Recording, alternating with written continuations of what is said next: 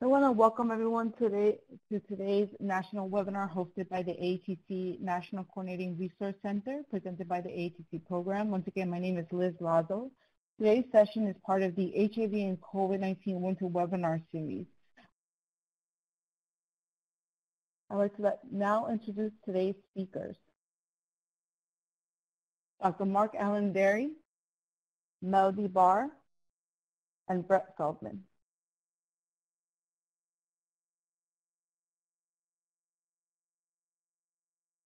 One second, please.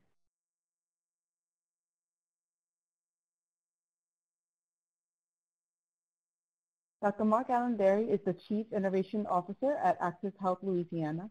He specializes in the diagnosis and treatment of HIV and AIDS, hepatitis C, STIs, as well as PEP and PrEP. He is the founder of 102.3 WHIV FM, a radio station dedicated to human rights and social justice.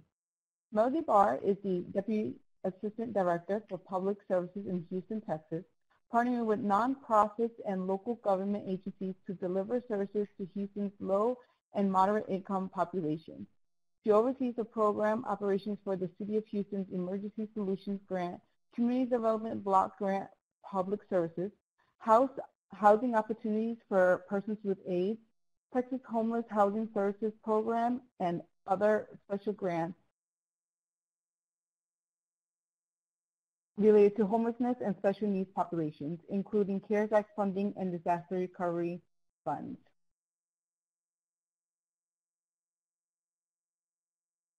Brett Feldman is the director of the street medicine at the Keck School of Medicine of the University of Southern California and serves as the vice chair of the Street Medicine Institute. He has practiced homelessness, homeless medicine for 11 years and founded three programs, including the DeSales University Free Clinic, Lehigh Valley Health Network Street Medicine in Allentown, Pennsylvania, and recently at the Keck, Keck School of Medicine. So before I go ahead and turn it over to um, Dr. Mark Alain Dery, I'm going to go ahead and mute the lines. And Dr. Dery, if you can unmute yourself um, once I mute the line.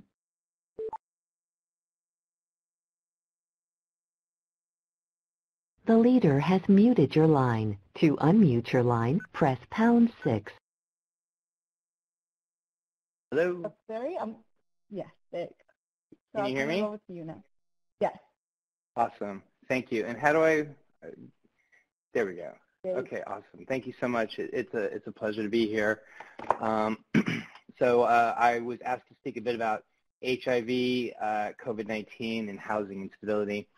So uh, it's a pleasure to do so, and it's a pleasure to be with um, uh, on with such esteemed uh, uh other co-speakers uh, as well.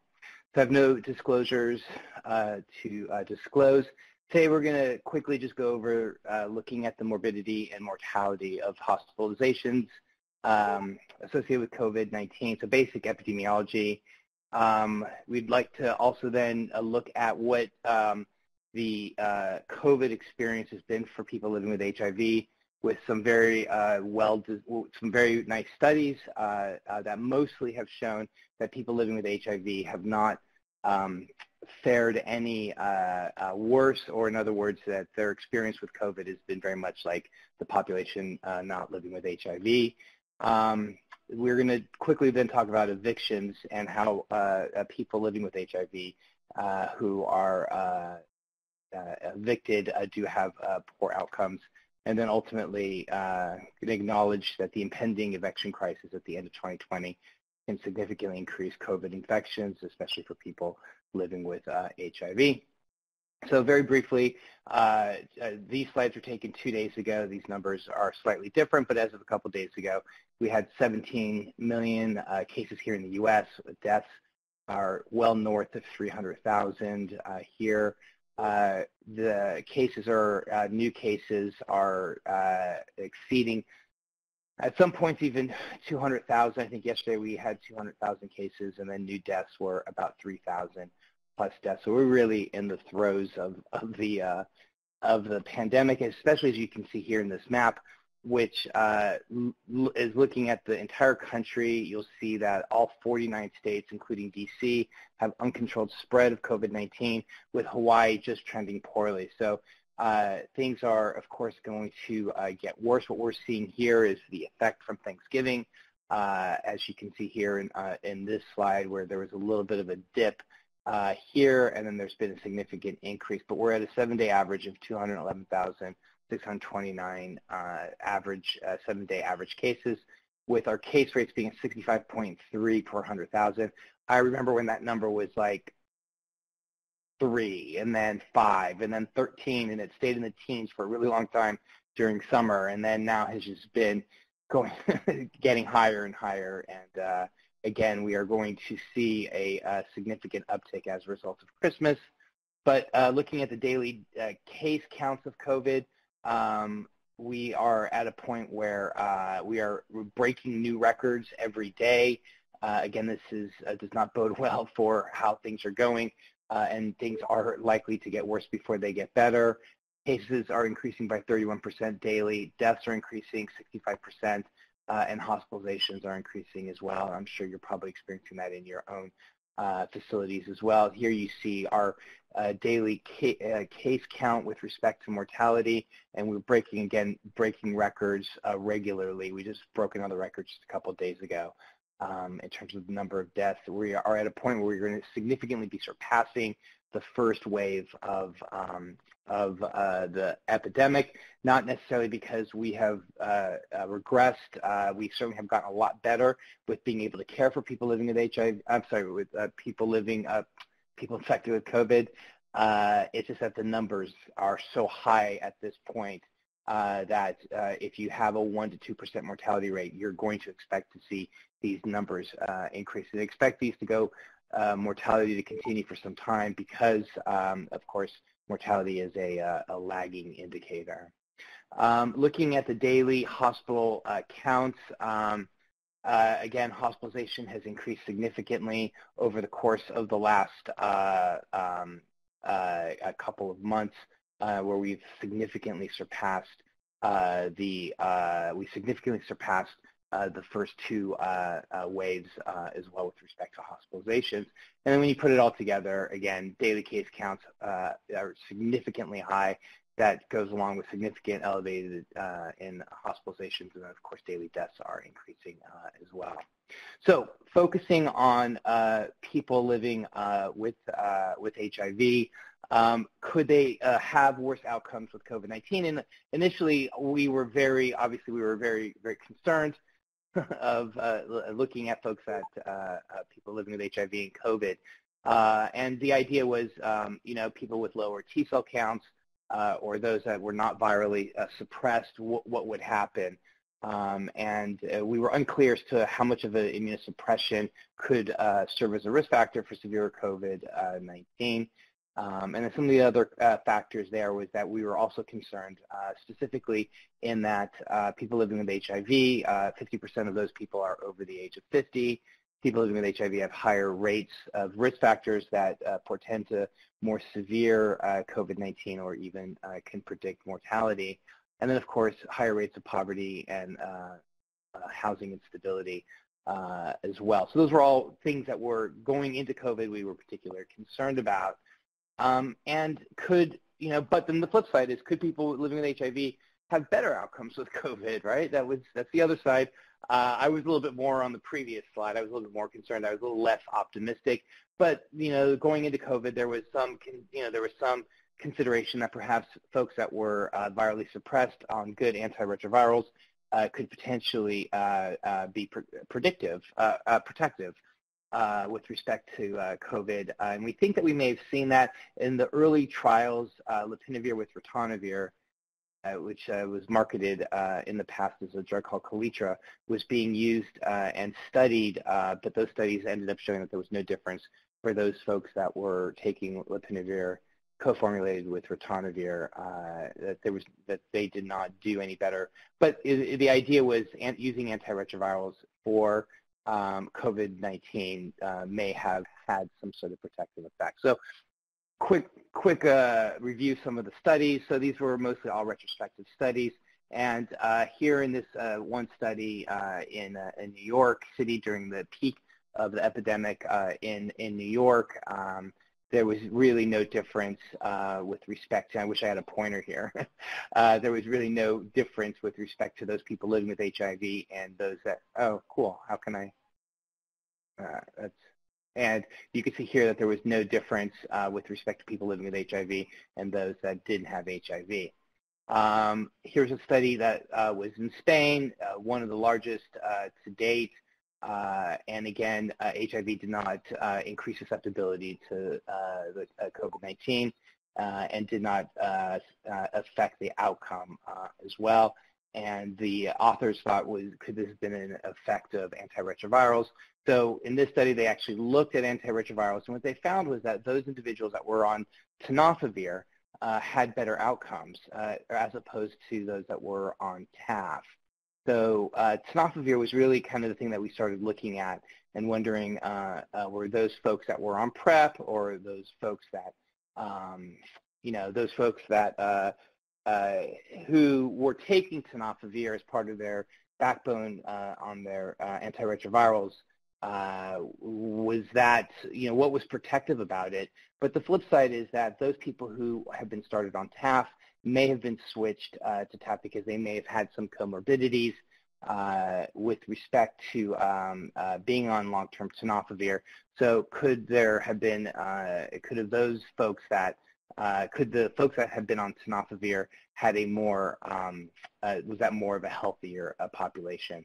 And then the one study that kind of turned everything around was this one here in South Africa that actually showed that those people living with HIV, um, and I don't know where my cursor went, but those people that were living with HIV did actually have a higher propensity, thank you, that did have a higher propensity uh, for uh, mortality. So HIV was a risk factor. So for the most part, it's, it's mostly, I think that, um, uh, you know, the way that we can overall look at it the, uh, as it says here, the, the literature suggests, that at least in Europe and North, Africa, North America, HIV does not increase risk for SARS-CoV-2 infection. Uh, as we understand now, most of the studies document a high prevalence of comorbidities with people with HIV and severe COVID-19, suggesting that this may be a major driver of morbidity and mortality. The study from South Africa is concerning, and future studies will need to be um, need to be determined. But I think taken together, the picture emerges that there's not much of a difference in the incidence or clinical manifestations of people living with HIV compared to those that don't have HIV.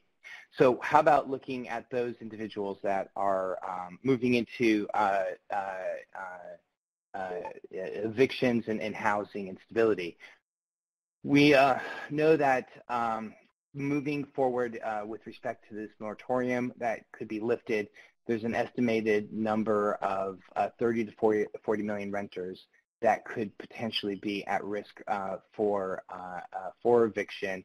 Uh, and uh, what we do know in the past is that eviction, dispropor evictions disproportionately impacts black and Latinx renter, renters, as well as you can see in these orange bars, as well as those individuals that also have children there's a, a, negative impact, of course, uh, that uh, can occur to your health due to uh, eviction, such as physical health, mental health, uh, conditions associated uh, or conditions unique to women, conditions associated and unique to children, and, and just exposure to substandard living conditions as well. So these are some of the issues that we see with uh, evictions. And, and, this nice little graph here kind of takes you through the process of, you know, kind of what happens, your job wage or loss um, or some sort of pre-existing affordable housing crisis leads to increased uh, rent burden, increased eviction, increased housing, which leads to increased uh, transiency, um, which leads to public or shared facilities or crowded residual environments, which means there's an inability to adhere to CDC pandemic control, and then uh, the unfortunate uh, case here is that this could uh, potentially lead to COVID-19 transmission, which will likely increase infection and mortality as well. This was a, a, study that I actually presented as I do weekly the mayor's office here in New Orleans. This, so this is uh, taken from my personal slide deck. Uh, and what this slide is showing essentially is that since the eviction uh, moratoriums have been lifted, as you can see here in this blue line, um, there's been an increase uh, in infection rates of COVID-19, uh, especially those amongst those that have been evicted, and then those who've been evicted, there was also a, a notable and associated increase in mortality rate uh, as well. Uh, which is easily uh, predicted. Uh, since um, there's a, in prepping for the slides in this lecture, I discovered this amazing website called Eviction Lab. what they do is they've been looking, they've been tracking evictions, and they look at 27 cities. And what they found is that since uh, the 27 cities that they tracked, there's been 162,563 evictions just during the pandemic, and that's just in, uh, 27, uh, uh, again, in 27 uh, cities. Um, and just last week, landlords in those 27 cities have filed for 3,526 evictions, again, just in the, in the past week. Um, what we do know is that uh, county level uh, associations between eviction rates uh, in 2014 and rates of other STIs increase as well. So in other words, we, we do uh, have um, a robust body of evidence suggesting that when individuals experience eviction and housing instability, we do see rates, and here in this study, rates of STIs, chlamydia and gonorrhea particularly, do uh, increase uh, as a result uh, of uh, as a result of being evicted. Um, and then here we see that housing instability also affects viral loads. The green line are those individuals with um, uh, good viral suppression, uh, and those are have the uh, most stable housing. you can see then here in this yellow line at the bottom here um, that those individuals have less stable, thank you, have less stable um, viral loads. Uh, due to uh, housing uh, instability. um, also looking at the relationship between evictions and HIV transmission, uh, and what uh, this study uh, found particularly was that evictions essentially made it harder for people to adhere to antiretroviral therapy. So again, somewhat problematic. Um, and the authors concluded that evictions independently increase the odds of detectable HIV viral load. So again, that's something that uh, is not uh, uh, a surprise there. Uh, looking at Louisiana specifically, we've uh, been at the highest rates of, um, of HIV for the past uh, um, 20 years, really, 15 since I've been here. but in the last decade, we've actually really done better in terms of new incidents of, of, H, of HIV. Um, and uh, but unfortunately, we do have the highest rates. We do have uh, highest rates of homelessness here in the state, as well as some very high eviction rates. And so, using the Eviction Lab uh, website again, trying to look at Louisiana uh, to, to, to determine, and our state score was zero out of five. Uh, we were one of the worst uh, states. In other words, this state really leans very much in favor of, um, of, of, landlords, quite frankly, and they just go through a number of, um, of, uh, of uh, laws that uh, really um, that uh, really bode poorly for uh, renters.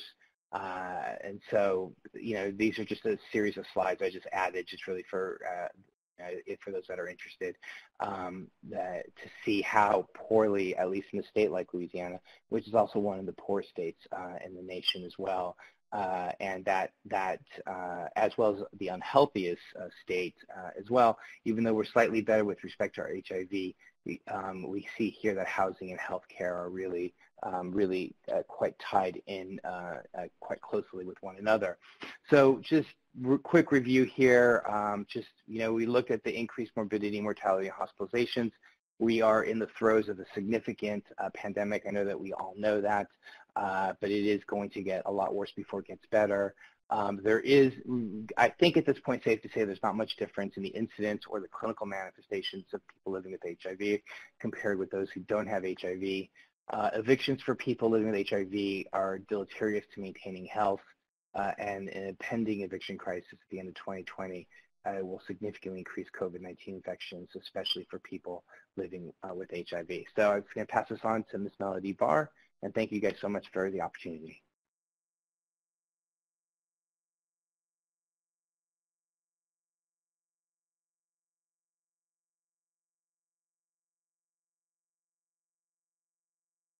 Great. Thank you, Dr. Dery. Melody? Sorry about that. And I do want to start by saying that I'm having some difficulties looking at the slides, so I may have to go blind on this. I do see it right now. Um, so I'll just go ahead and start, and hopefully everything, um, this is what, live audience, so the show must go on. Um, so uh, let's see if I can do this. All right. We are there's no, okay, this is no conflict, I believe. And then this slide should be the objective slide. And if you guys can just um, make sure I'm um, on the right slide, that would be great. Uh, we're going to go over um, some housing subsidy that we currently have in the city of Houston. We're going to describe some barriers to housing, and then we're going to describe the current solutions and opportunities. So this slide should be the homeless to housing slide. Um, Housing and Community Development Department for the City of Houston receives roughly $20 million annually for public services activities. HIV-specific funding makes up approximately half of this money. Recently, our funding has gone up tremendously due to CARES funding to address issues related to COVID and, the, and with the additional funds to a disaster you may have heard of a couple of years ago named Hurricane Harvey.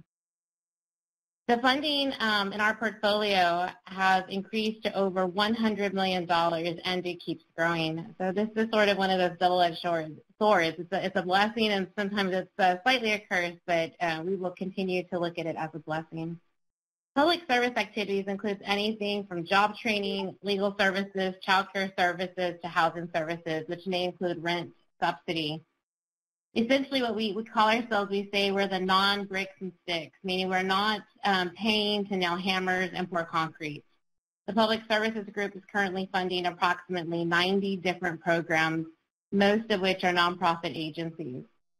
Homeless services is a major part of our programming. We serve this vulnerable population with a variety of funds as it is complex and a challenging issue. Last program year, our department funded programs that provided services to approximately 38,000 house, households as reported. The first picture is of two homeless persons under a tree, not far from a major freeway. Those two individuals are United States veterans. When we think about homeless issues, we must also remember that this is not just a social issue, but it is also a national security issue as well. And we have we have a voluntary military, and if we cannot take care of them when they come home, how are we ensuring we get the best to enlist? The second picture is of a man sleeping on a freeway uh, feeder street. We call it feeders in Texas. I'm not sure uh, what the rest of the nation calls it. Um, he indicated that this was the safest place to get some rest since there is nowhere to um, since there's nowhere to park and people wouldn't bother him. So I took both of these pictures. We took these pictures about uh, 4.45 in the morning. Um, maybe it was 5. And I was parked illegally on the sidewalk, and we had to do that in order to engage this individual. What I will say, though, about that first picture is those two people, those two veterans did get housed. The other picture you see here is of housing that was purposely built to house persons that are homeless solving housing insecurities means that we must have, you know, that we have to increase the affordable housing stock. Increasing affordable housing stock should not be government housing as we know it, but building a place that you would house the person you love the most or even yourself in. This slide should be about housing opportunities of persons with AIDS. Is that correct? I'm going to see that. Yes. Okay, great. So uh, HOPWA, as we, as we call it, is a program that was established in 1990. The statutory purpose states that it provides states and localities with resources and incentives to devise long-term comprehensive strategies for meeting the housing needs of persons with acquired immune deficiency syndrome and families of such persons. The HOPWA program serves low-income persons and their families living with HIV or AIDS Households must be below 80% area median income and HIV AIDS status must be documented. So this does have to come from a reliable document sources. Those are the two eligibility criteria. I will say in the city of Houston and in many other jurisdictions across the nation, um, that 80% is sometimes reduced. In Houston, it's reduced to 50% for housing activities. We keep it at 80% for the social service type of activities and emergency um, needs. Houston receives approximately $10 million annually for this program. Um, but our area consists of nine counties. So though $10 million may sound to some like it's a lot, it is a very large jurisdiction that we cover.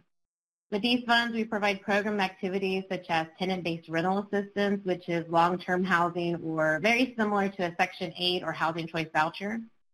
We have what we call short-term mortgage utility assistance, and that's right. We also provide assistance for mortgages if you uh, if, a, if a client um, is unable to pay.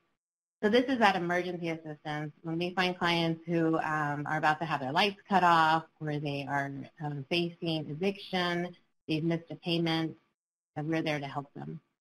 We also provide funding to community residences, which are essentially apartment complexes. You see the picture above, and, and that's exactly what that is. Those are multifamily units. Those are apartment complexes designated and developed specifically for persons living with AIDS.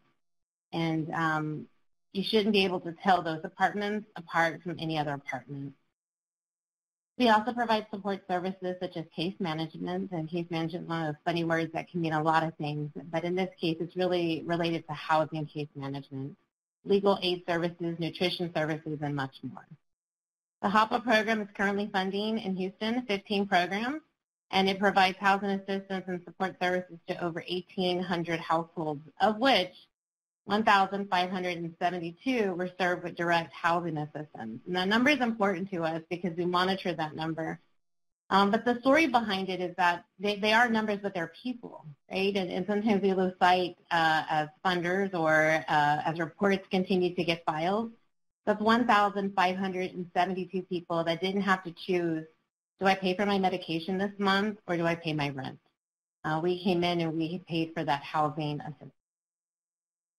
It's not enough, and we must do better. So this is just one funding stream or one program that is available for persons living with AIDS that are unstably housed or, as we say, housing insecure. What I see from providers in Houston that I work with, and I don't think it's much different across the nation, is that clients are often being referred to HOPWA programs only or AIDS-specific programs only. But not many are being referred or highly encouraged to apply for mainstream programs. Other programs may ask a client if they're living with HIV or AIDS, but that is not a requirement to disclose, and in most cases it does not put them at a higher vulnerability index. However, this is an avenue which everyone in the homeless system should try to use. So this next slide should be barriers to housing, and um, so clearly there's not enough affordable housing stock. And, and this is huge, right? Because um, how can we expect someone who is um, who is trying to make ends meet and help themselves afford something when it's just not available. So that is a huge barrier to housing. Across the board, um, there appears to be a lack of affordable housing. Um, prior to the pandemic in Houston, Houston ranks fifth in the nation and first in Texas for having the most severe affordable housing shortage. The city has 19 affordable housing units for every 100 households in need or about 80% um, deficit, according to the National Low Income Housing Coalition. Huge. COVID-19 has also been a barrier, as many um, I, am sure are seen in their own ways. Uh, it's changed things rapidly, very rapidly for our community. Um, it is essentially it is essentially like we are flying a plane as we are building up. The stay-at-home orders have also uh, created some barriers, and those barriers are because our, our, our system saw a significant decrease in referrals um, and with potential clients accessing services. Everyone was sent home, including case managers, and so there were many people available, and when we came back, it was very challenging trying to reassess and reprogram our systems and our programs. Um, with the eviction moratorium, um, there was also a decrease in ask for um, assistance. Uh, in addition, there wasn't available documentation to prove that rent was late or evictions were even occurring. So we are still limited by federal rules and the federal parameters of what we need to be able to service individuals. We have, uh, we've seen um, the higher unemployment insurance. Uh, one of our local agencies pointed out that clients were more likely to choose the path of least resistance as it relates to the complexity of a program application process. The unemployment benefits require substantially less amounts of paperwork than what is needed to qualify for a HOPWA program or any other federal program. The clients just opted to use that. Immigration continues to be an issue of concern in our area. According to our local providers, many of the households in the immigrant community are reporting experiencing stress over conducting daily activities such as grocery shopping, keeping medical appointments, or going to the pharmacy to pick up their medication. Due to fears regarding deportation, many undocumented persons living with HIV clients have indicated that they have ceased receiving their Ryan White funded care. Um, technology barriers. I don't know about you, but all of our clients don't have the hardware. They don't have the hardware, the software. Um, they can possibly get Wi-Fi, but even Wi-Fi is a challenge, and I have Wi-Fi. It is a challenging for me today. Uh, or know how to navigate in this new remote tech world. And so uh, we used to talk about digital divide being who has Wi-Fi and who doesn't, um, but now it's more who has the software, who has um, who has the hardware, and do you even know how to do it? And then there's respite care, right? So Houston does not have an HIV-specific respite care facility, which is desperately needed in our system. And um, so that is definitely a gap and, and a barrier. We need to be able to help people. So that's all my doom and gloom. And then um, I do want to share some housing solutions, which I hope you can see on the screen. So it's some, you know, we're, working hard. Um, I have a great team behind me working hard as well. What you should be looking at is our point in time count, and it is a graph, and it's comparing our homeless activity from 2011 to 2019. And some of the key findings is that um, our system has been able to decrease the overall homelessness um, by 54%. 41% of the individuals experiencing homelessness were living unsheltered. So that tells us that we have a lot more work to do.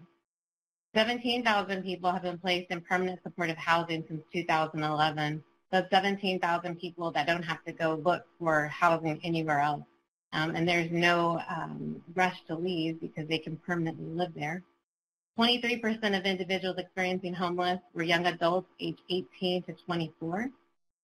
Um, there were no families with minor children nor unaccompanied youth living on the street on the night of the count. And so we do this count every January. This count is required by, uh, by HUD, the Housing and Urban Development Department, so that cities like Houston, any jurisdiction, can continue to re, uh, receive funding. Um, so we have a lot more work to do. I talked to you a little bit about additional CARES funding that, was, that has come into the department, and so funded by the City of Houston and Harris County and private philanthropy, um, a joint $65 million plan has been established to add capacity to house um, 5,000 people experiencing homelessness over the next two years to limit the spread of COVID-19. So the community, um, they call it CHIP. We love our acronym. So the CHIP program um, the will permanently house people who are currently experiencing literal homelessness, which is living on the street, living in shelter, um, as well as encampments and those that fall into homelessness. So again, that's that risk category. That if you're if you lose your job and you're not able to pay your rent, and now you're falling into homelessness, this program will um, hopefully catch you to um, to help you. And so, as they fall into homelessness as a result of economic effects to the coronavirus. But we still don't know what the long-term impact of COVID-19 will be on the homeless system or HIV system in our region. We do anticipate an increased need for housing so we are looking at different ways to do this in different models, such as diversion.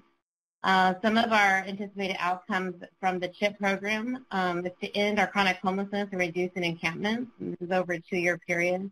Expanded targeted outreach in unappropriated areas, reducing high-cost emergency services for people, and creating 150 jobs through this program, as well as setting a path to making homelessness in our community rare, brief, and non-recurring. And what I can tell you is that our department has worked really hard with the funding that we've received, and it's not specific to HIV, but it doesn't preclude anyone who, who is living with HIV um, to access it. So over probably the next three years um, in times, and this is in, within development, I talked about the lack of affordable housing stock. Um, in total, we have about 30 projects that are going to be receiving funding from our department to create over 3,500 units, and I'll just repeat that again. 3,500 units will be created, um, including 3,100 of those units reserved for low to moderate income households. And that's how we help with the solutions of affordable housing.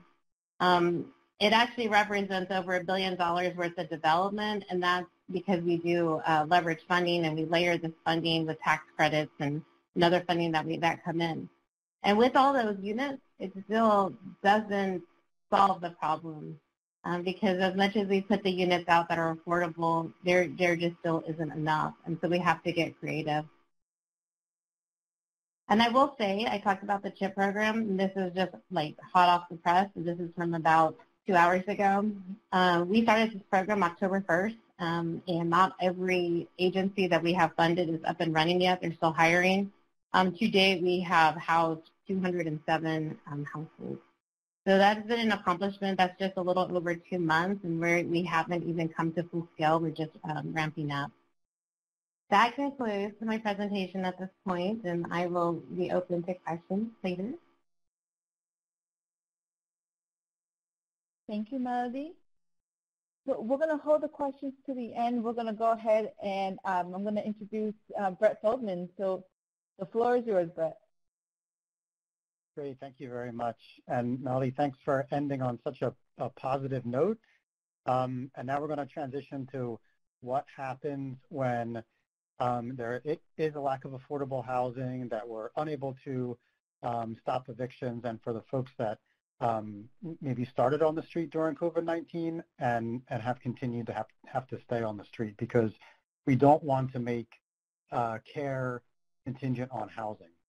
So um, the best way that we found to do this is through street medicine. Um, and I guess first we should uh, define street medicine, but, but, but essentially street medicine recognizes that people um, experiencing homelessness, especially those who are unsheltered, um, just can't for many different reasons, most of which are um, their understandable preoccupation with survival if they don't know where they're going to sleep tonight, where their next meal is going to come from, if they're going to be safe doing those things, can't possibly begin to think about things like their health care. So in response, we uh, leave our offices and go to the people living on the streets, in the woods, under the bridges, with the goal of first delivering uh, tender love, and then the same high quality care you would expect in a clinic, except on the street. So, um, uh, so here's here's kind of like the official definition. Um, it's the direct delivery of healthcare to the rough sleeping population. So this is specifically the unsheltered homeless. Care is performed on the street. So it's not in a shelter, in an RV, um, it's not even for the unsheltered population indoors, but it's actually in their space, um, done via walking rounds, uh, depending on where you go in the world, motorcycles, horseback, kayaks. When I was in Pennsylvania, there was one youth encampment that we could only access via kayak down this uh, stream, so we, we had to get kayaks. But it doesn't matter how you get there. The, the idea is to go to the people to suspend our reality and meet them in their reality. Um, and, and that's the only way we know for sure um, what they're experiencing and the context of, of what we're treating. So um, to, to that, a lot of people ask me, about, what about an RV? Are you guys going to get an, an, RV specifically? And RV medicine is great and it has its place, um, but it's not street medicine. And the main reason is because when we use an RV, even if we drive to them, we are taking them out of a place where they feel comfortable and bringing them into our space um, it, that we've arranged. It's probably even licensed, um, but we want to go to them to a, a, place where they feel comfortable, not necessarily where we feel comfortable. Um, more important than the care we're delivering is the values and philosophy that guide us. So we talk about patient-led care rather than patient-centered care. Um, I don't think patient-centered care started out this way, but what has happened in my mind is I picture kind of a, a patient being in this hole, and we've built up the system so high around them that we can't even see them anymore. They're in there, they're in the center, but buried deep within the uh, bureaucracy of the system. So our goal is to raise the patient's voice above that of the system. Uh, we practice reality-based medicine, and this is something that uh, the, the world of care with people uh, living with HIV has done for a long time. So we start out with evidence-based medicine, which is it's a great place to start, but life is not a double-blind randomized controlled study. So you start with the evidence and then you apply it to the reality of the street. We talk about having unconditional respect for the people we serve. Um, one of my street medicine colleagues that practices in Southampton, England, coined this term, one less FU. And how that works is you go to a camp and they chase you away, FU, FU, FU, 20 times. And then the next time, FU, FU, FU, 19 times. And that was a measure of success. And no matter how many times we're FU'd away, um, we still have unconditional respect for them as people. We see medicine as an instrument of peace. So just like uh, Doctors Without Borders and the Red Cross can go into these war-torn areas, we go to similar areas with our stethoscopes around our necks and being seen as, as there to help. And the truth is, is that there's actually studies to show that people experiencing homelessness, part of the reason why they don't access traditional healthcare is because of previous negative experiences. So as much as we would love to generalize it to just, oh, they don't like institutions, they don't like organization, um, this is actually something that we've earned that is specific to healthcare. Um, we view medicine as a tool of advocacy. So there are, uh, you know, frequently that in within an hour I'll be under a bridge with a patient and then in a boardroom um, and when we're given the privilege to walk this journey with the people we serve, um, we see things that we can't unsee. And when we see those things, we become witnesses. And as a witness, we have the duty to come back and tell people that can't be under the bridge with us what we're seeing and experiencing. Um, so this is uh, one of our teams um, so, you know, I mentioned different ways of kind of going around. So the optics of it is we drive around in this pickup truck.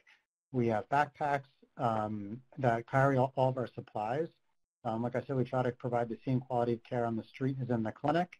And we know healthcare is not just the office visit. So we dispense medications, draw labs, we do point of care ultrasound or EKGs on the street. Um, these are, you know, typical places that we would practice. Um, but if I was to kind of give one um, answer as to why this works is because of our approach with radical humility. And what this looks like is, is this picture. Um, so as you can see, everybody on the team is bent down in a servant's position. Um, all of our heads are equal. In this picture, you can't tell who's the student, who's the PA, who's the doctor, who's the CEO of, of LACUSC uh, General Hospital in LA who's in this picture, but you can tell that the patient has been given the position of authority.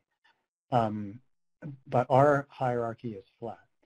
So this is, this is the way that we want to practice medicine. The reason why this is so important in LA um, is because uh, we, we, talked about the point in time count in some of the other cities. On the left is um, the city of Los Angeles is the is the dark bar, and then the county goes up to that. And this is from the point in time count, uh, who was sleeping on the streets in one night. And then on the right, as you can see, the city is ticking away. It compares how the unsheltered population compares in population size for the rest of the country. Um, and despite all of these cities, um, we are still shamefully a few thousand ahead. So um, we just have this massive, massive population that all of the efforts that we that have put forth, which have been exorbitant um, during COVID, just hasn't um, even close. And one of the things that makes it even more complicated in LA is that many of many of you have heard of Skid Row. Um, when we think of homelessness in LA, we think about Skid Row. And if you've been to Skid Row, you know why. Um, it's as close to uh, hell on earth as you will find in the United States. But the truth is, is that less than 10% of all unsheltered homeless in LA live on Skid Row. That means over 90% are not on Skid Row. And, but all the resources are concentrated on Skid Row. So it's very common um, for somebody that's not living on Skid Row to get maybe two or three meals a week. Um, you know, a lot of the patients we see are in are in woods like that, and how that. So um, knowing that we have this huge population and a very diverse population in in every sense of the word, um, this is the this is kind of the model that we built. It's a model that's designed to, to build capacity. So um, we started with a hospital-based consult service um, using, trying to figure out who of these 48,000 are first, and we decided to start with who are the sickest. Um, and this is, so we have a consult service in LAC USC, which is the largest county hospital. We see the patient when they're admitted and then follow them anywhere um, on the streets in the county. And this is how we started uh, building our practice for people experiencing or people living with HIV. So we have a uh, HIV attending and HIV fellow that are with us. Um, most of the patients we pick up are admitted with AIDS-defining diagnoses. Um, and we, we meet them in the hospital with these and then follow them on the street. And we've really had great success with um, keeping them on their antiretrovirals. Um, we just, uh, one of the patients that we recently picked up um, was diagnosed with syphilis during uh, her inpatient stay, and we just gave her final injection um, on the street last week. So uh, that's something that I think we're most proud of. Of course, we have the street-based care, but we also know that we can't be the only ones doing this if we're going to meet, uh, ever realize our vision that all unsheltered homeless in LA have access to basic health care. So we do workforce development, education. Uh, right now we have um, six area federally qualified health centers that are going through this year-long workforce development.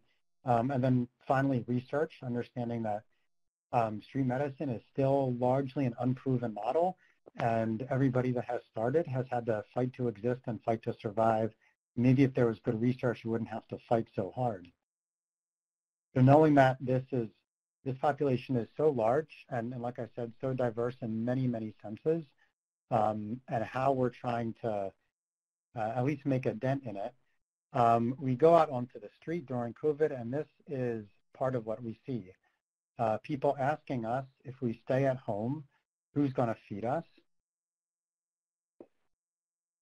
Um, and, and we always talk about uh, letting the streets build the program, that the second I start to build it, it's going to be a huge embarrassing failure. So we ask the people all the time, what's it like? Um, and I think when I when when when COVID-19 first hit, there was really two main responses. Um, the first one was that they really didn't care about it, to be honest. And and I think the reason is because they're used to these daily threats to their health and safety, um, things that are not theoretical but actually happen to them every day. Much higher rates of violence, um, much higher rates of theft. You know, all these things that most of us don't have to deal with on a daily basis that if there was going to be a, that the threshold to um, register as a threat had to be much, much higher. Um, so a, a, lot of them weren't paying too much attention to it. Uh, others were in complete panic. They were told to stay at home. The, you know, the governor had a stay-at-home order, told to wash their hands, and they couldn't do either of those things. As time went on, um, we realized that that actually how COVID impacted them the most was not COVID itself, but it was there was a lot less foot traffic coming by. So if they relied on panhandling, as I mentioned, off of Skid Row, there's very little resources. There were less, it, they were getting less money. Um, the places that they relied on as kind of lifeguards to use their bathrooms or showers or just get a drink um, were all closed with these with with uh, stay-at-home orders.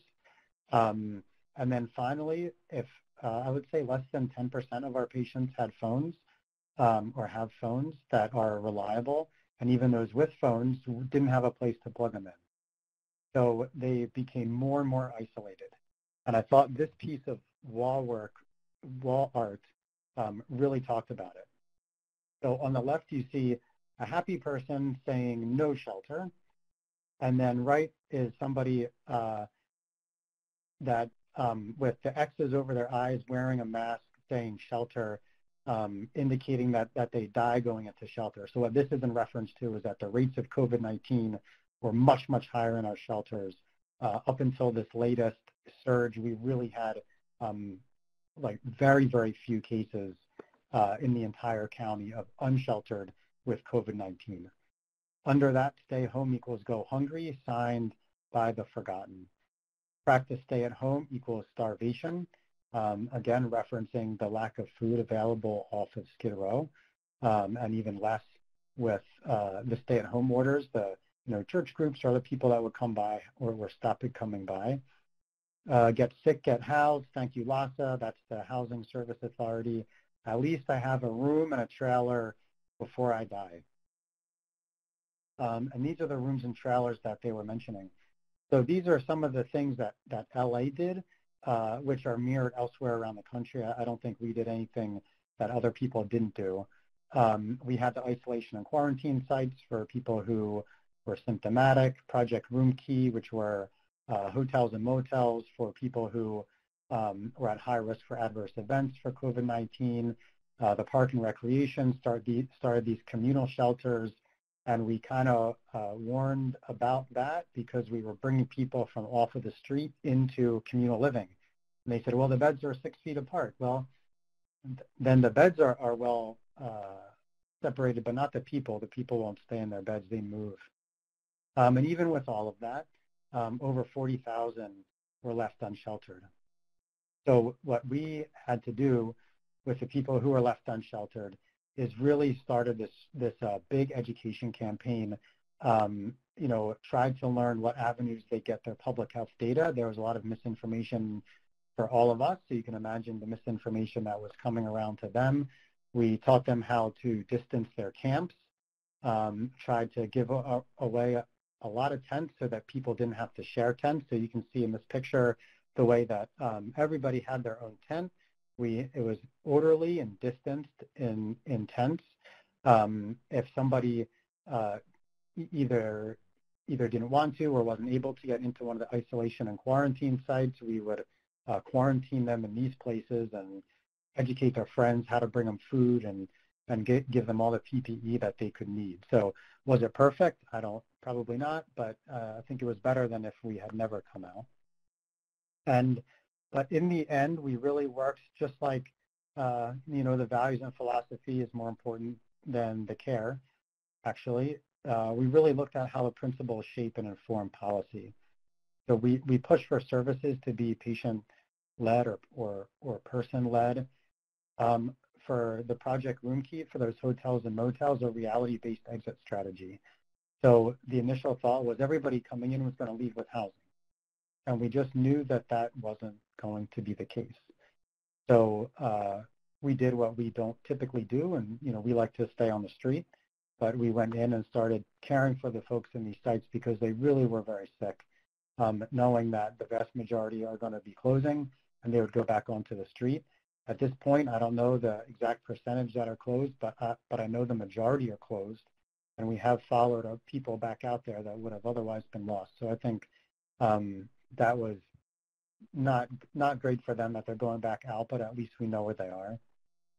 Um, and then, you know, the the uh, propensity to serve those who are easiest to reach versus those who are most in need. Um, the ones that are that are you know most happily engaged, uh, that you can go there once or twice and sign them up for a Project Room Key, sign them up for housing. Uh, they're you know housing ready versus those that are the sickest. Um, and we're we're really looking for those that are the sickest.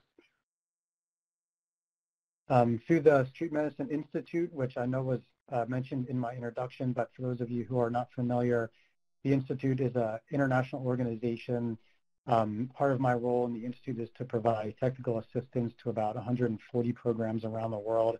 We did publish street medicine practice during COVID-19 guidelines um, on, on kind of some of the information on how to distance encampments, how to approach encampments during COVID-19. Um, so here's the link. I don't know if, if these get sent out later, but you, you can go to the website, which is uh, streetmedicine.org.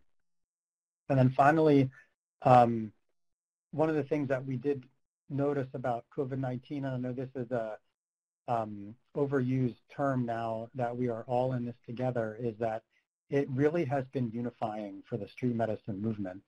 So this is my friend Isaac, um, who practices street medicine in Nigeria. Um, and they, uh, like many of us in the beginning, ran out of PPE. So he sent me this picture where all they had was gauze Um, and he, you know, as you can see, he just wrapped gauze around his face um, as PPE. Uh, but even even not just us, I think it really has served to humanize the people that we serve. Uh, it's easier for us to think of them as others and assign, you know, them, you know, the saint versus sinner mentality that there's something different about them. They made these bad decisions that I would never make, so that's why they're in that position. But COVID-19 was not a bad decision that any of them made.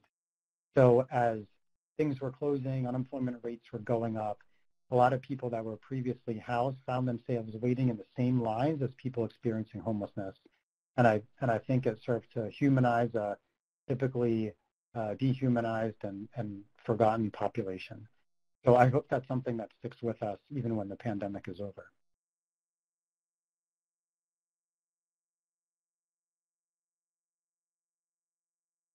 Great. Thank you so much, Brett. So actually, I want to thank all the speakers today, Dr. Mark Alain Dery, Melody Barr, and Brett Feldman for this excellent and informative uh, presentation. Uh, before we proceed to the Q&A, I just want to let everyone know that unfortunately Dr. Dery had an urgent matter to tend to and had to leave. Um, but you can email your questions to him. His information is on the screen. So we're going to go ahead and open it up to questions. There were a few questions in the, already in the chat box. Hey Liz, this is Melody. Can you hear me? Yes, I'm Melody. So there was a couple questions that I just kind of wanted to give um, some slight responses to. Um, so one of the questions was around housing access that has become harder during COVID as many shelters have closed. And so I want to take that in a couple parts. So in Houston, um, and, and, just like you know, Dr. Feldman talked about, or Mr. Feldman talked about, you know, in terms of the um, uh, coming together and getting creative. So in Houston, in order to adhere to the social distancing mandates, we would have had to have reduced our shelter capacity, um, I believe more, almost by half, it was a little less than half, to accommodate that, uh, that particular mandate. And if we did that, we were going to lose quite a few, quite a few of people that we had already had our hands on and were working with. So we, um, unfortunately, the city of Houston had to close down a lot of its facilities. And so one of those one of those facilities we ended up making into an overflow shelter. In addition to that, we started utilizing our hotel stocks that were not being utilized um, for additional um, what we call non-congregant shelter. And so, so it, it, wasn't necessarily innovative. We did this during Hurricane Harvey, which I think if you talked to us during that time at Hurricane Harvey, they would have told you it was innovative, but our, our community had already done some of this. The other thing that we did is, um, and, and I do see this across um, um, the nation, is that domestic violence has increased in a way that we've never seen it before. Um, and, and there's lots of reasons why. Um, however, we don't have time to um, go into all the research as to why, but how do we actually help these individuals, these survivors flee? And so again, we utilize the hotel systems that, or the hotel units that weren't being occupied, and we are using those as non-congregate shelter. And so immediately we were able to increase our domestic violence capacity by 100 units. Um, and that really came out to being close to like maybe 250, 300 heartbeats. And so that was, that was um, that was something that you know was um, was definitely needed. And then in terms of, um, I know there was another question, or maybe that's, those, those, that answers both of them. Um, I guess the new models we were looking at non-congregate shelter. How do we shelter people where we can actually keep them more than six feet, but we're able to um, to adhere to that to the social distancing? And so that really that model is going to be non-congregate shelter and utilizing um, hotel type units.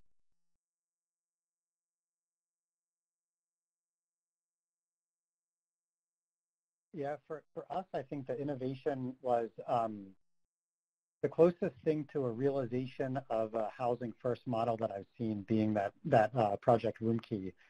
Um, you know, housing, housing first was designed to, you know, go out and, and the first thing you do is housing. So you go under the bridge, you take the person out of the bridge, put them in housing, and then you start working on things. And the reality is that um, housing has never been first uh, even in the housing first model, because there's paperwork you have to fill out, IDs, all kinds of stuff, and, and if, still months of working uh, on on various things in order to get them housing first. You know, housing is somewhere down the line. The project Room Key, uh, there's hotels and motels, was actually the closest thing where um, within a day or two, a lot of them found themselves in these motels. Um, and there was very little support in terms of, um, you know, when we think of housing first and we wrap around all these services around them, um, and there was very little support in these motels um, but it was also low barrier. So there were no, uh, you know, they were allowed to use whatever substances they were interested in using. Um, and I think the results were really impressive and, and we're only, and I, I don't know how we're going to appreciate them, but really just the value of housing alone um, in moving people along, just giving them a safe place to stay, that they know they're going to be able to come back to. Uh, food was, was provided for them, um, and, and just the wonders that we saw uh, result from that. Um, I do see a, a, question in the chat from uh, Comfort. Was there a provider who rounded on these people? Yes, absolutely. The, uh, the street medicine model, a, a, typical team, as we call it, is a provider. So it's um, doctor, PA, or nurse practitioner, uh, a uh, RN, and then a community health worker. The community health worker role is a little bit different. In street medicine, it's the ideal person is somebody with lived expertise in homelessness, um, and and their job is essentially the street guide. They know the streets better than anybody. They know where the people are at all times, and then and along with the nurse, help create the schedule for when the provider's on street rounds um, and there's a, it's pretty heavy provider time too, like three days a week. Um, and then when we're there, the community health worker becomes situational awareness so that uh, the providers can focus 100% on the patient. So that's, that's who makes up the model.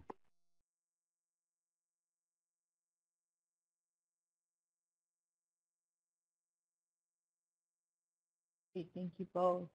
Hi, this is John Nelson from the Hi, this is John Nelson from the NCRC, and I just wanted to answer a couple of questions since Dr. Dery is not on the call right now um, from Lori and from Axel, that a, a lot of the, the, there have been many smaller studies. Um, there was a systematic review, though, and I think that, um, done this, that, that was published this last summer, of people with HIV and COVID. And I think overall, um, people with HIV are equally at risk of getting and dying from COVID, uh, from SARS-CoV-2.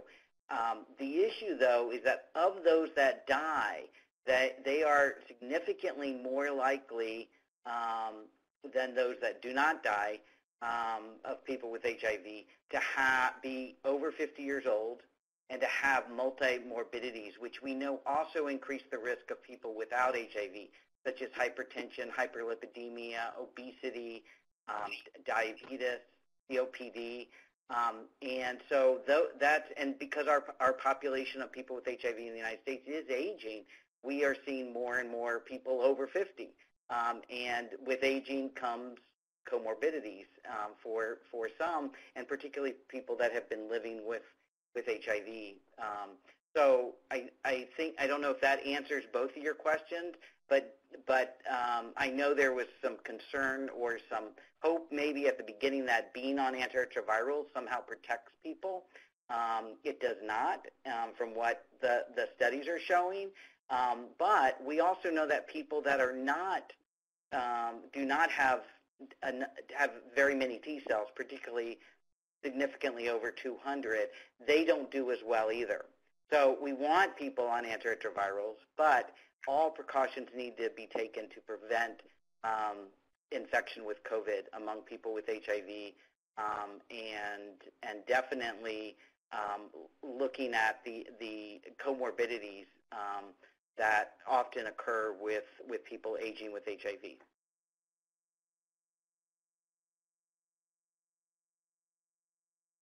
Thank you, John. Now, Melody, you were going to, did you want to follow up on any of those, other questions? Well, the one thing I was thinking about, and uh, when we talk about like new models, or uh, I'd like to expand, and it wasn't necessarily a you know a question that was asked, but something new that uh, comes to mind in terms of how we're dealing with our nonprofits or with our providers. And so um, I know there's a lot of clinicians on the phone, but I know there's also a lot of Ryan White um, um, agencies that utilize that fund. And specifically, I'm thinking about like linkage to care. I'm thinking about the people that are um, seeing clients um, day in and day out. What we have started having conversations with our agencies um, in terms of funding is really looking at that piece of professional development that we don't always look at. So under um, the 2 CFR 200, which is just your cost principles, and you know every federal organization has to uh, utilize that, professional development is an allowable cost. And if you connect your professional development with an actual mental health aspect for your um, case managers, for your frontline workers. That's something to start thinking about differently. So what COVID has really um, brought to light within our organizations is that burnout has become much quicker. We are, it feels like we are in an active disaster, and a normal active disaster would last maybe six weeks, maybe eight weeks. Um, we've been in this disaster since March, and it doesn't seem to be letting up. And the thought is that when the moratorium does release or has, you know, some something happens with that moratorium and we see more persons that have never been affected in that way, your frontline workers are going to have that trauma that they're not necessarily accustomed to because it's going to be at a higher level. So what are we as organizations, what is our social responsibility to our staff to make sure that they are also mentally fit to continue to provide the much needed service to the community. So it's something to think about. I don't think we necessarily hear funders talk about, hey, are you providing mental health services to your staff? But that may start to be the new way of thinking if we want to continue to do this good work long term.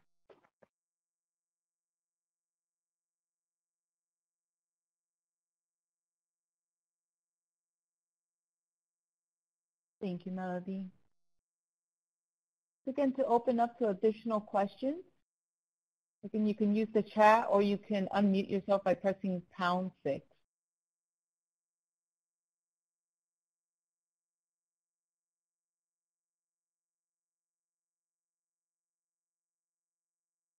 So just a, um, some additional questions that were in the chat earlier. I don't know if this was addressed, uh, but Georgette Theophilus had mentioned it seems like housing access has become harder during COVID as many shelters have closed to new people. Have you learned of any new innovative housing models developed during this time?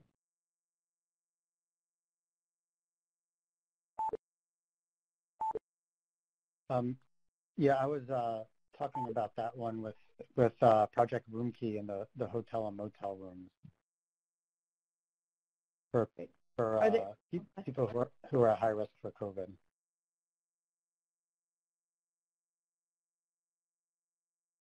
Are there any other additional questions in the chat box?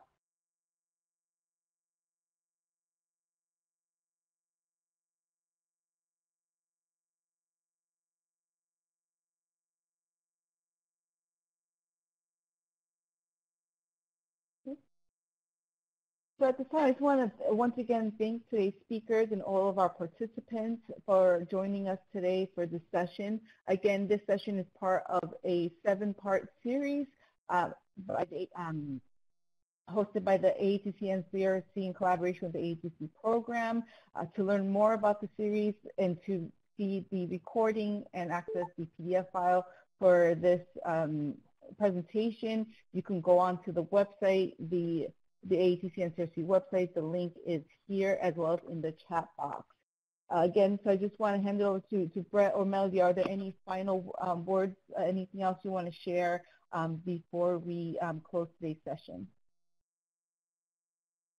No, not for me. Thank you very much, everybody, for listening. No, no, I'm good. Just, you know, I do, I do want to just say thank you for all the hard work that everyone's doing up on this call. we really appreciate it. It definitely takes um, a village. So thank you. Again, thank you both. So it, um, our next session will be on January 11th on self-care resiliency and stress management for healthcare providers. We hope to see you then. Thank you and have a wonderful day.